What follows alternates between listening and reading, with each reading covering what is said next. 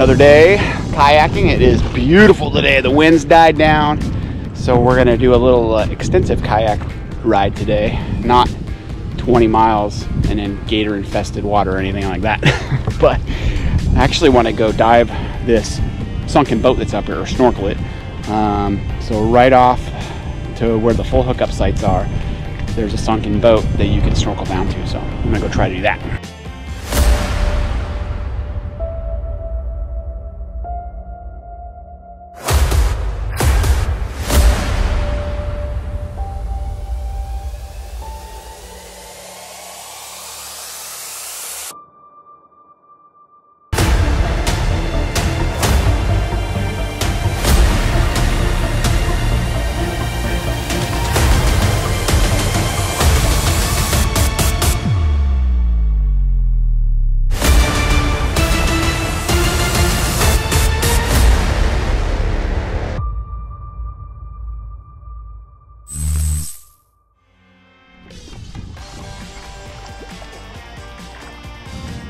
Well, there's the tiki bar that we go to on uh, on here at Sigsbee.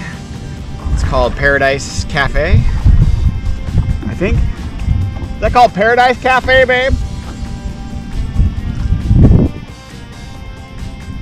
It's called something. But they got food and drinks and stuff. There's the other part of the uh, Sigsbee campground. Most of those are full hookup sites, but a couple of these on the along the shore here, to the left of me, are uh, dry camping as well. Coming up on the boat here, a little bit closer to shore. There's a shelf that runs out here, right along that shelf. So it looks like it might be marked with this buoy up here. Looks like we're coming up on it, just using Google Maps. But uh, where that buoy is looks like the perfect location for where this boat might be. So let's go see.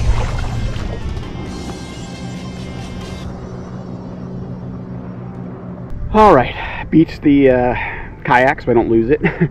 and uh, Jen's gonna meet me out there on her kayak and now we're gonna go check out this boat. What do you think of this crazy hair? Look at this. Ah.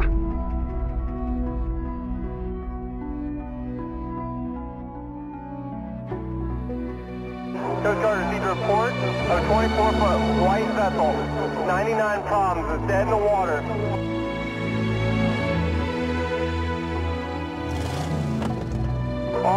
Requested to keep a sharp lookout, assist if possible. U.S. Coast Guard, U.S. Coast Guard, Mayday, Mayday, the hero got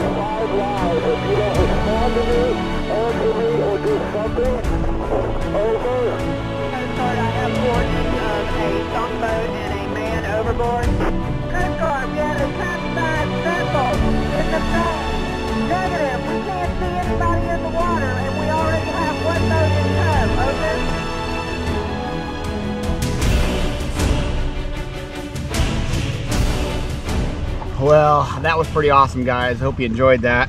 That thing still had its engine. that makes me wonder if we really want to do boat life or not. Good morning, everybody. We're up bright-eyed and bushy-tailed because we're going to the dry Tortugas National Park today.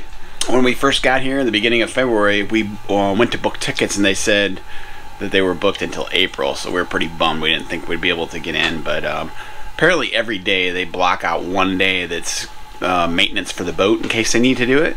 And um, if they decide they don't need to do it, then they release those dates. So we got lucky. Um, they released this whole day, which is the 22nd of February, and we got in. And as a bonus, our buddy from Alaska, Ray, who was in our one of our videos way back when at the Tampa RV show a couple years ago, um, he came down to visit us, and we snagged him a ticket last night. We got lucky; somebody had canceled, and so he's going with us. So should be an awesome day.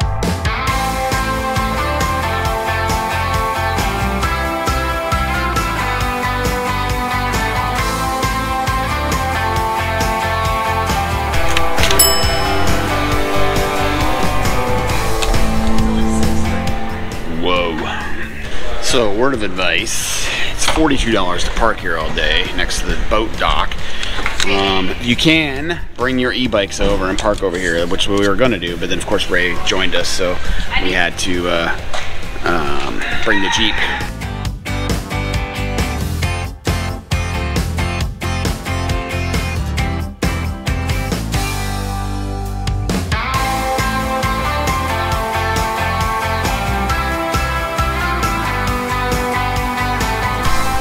Right, we're all checked in, and uh, now we're just waiting to board the ferry. Our friends who just did this a couple weeks ago gave us some advice to get here early because they give you numbers when you come in, and I think the first 30 or so actually can sit like on the top deck. Uh, so we got 20, 21, and 22, so it might be okay.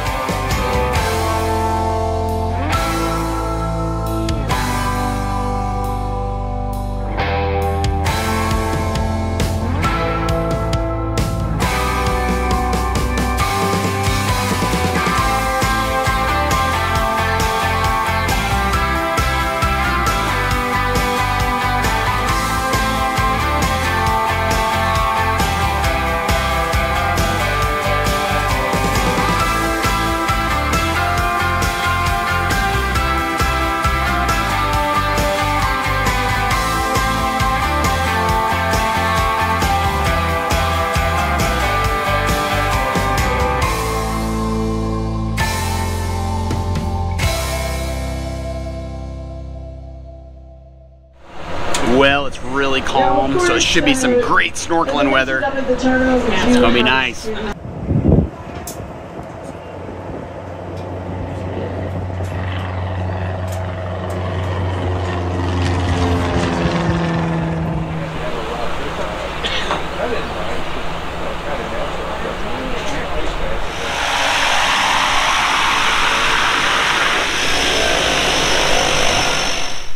Wow, this is unbelievable. It's beautiful out here. Totally recommend you coming out here. I haven't even gotten in the water yet. Jason and Ray are already out snorkeling. I decided I wanted to walk around the um, fort just to get some photos and stuff. I started to do the tour, but I just decided to kind of explore on my own. So I'm gonna try to walk. Um, there's a little area down here that I'm going to try to get to down by the beach and then I may change and get in the water. I may not, just all depends on time, but I mean you can come out to this fort and it is beautiful. Beautiful, beautiful, beautiful day, beautiful water. I'm going to have a hard time leaving.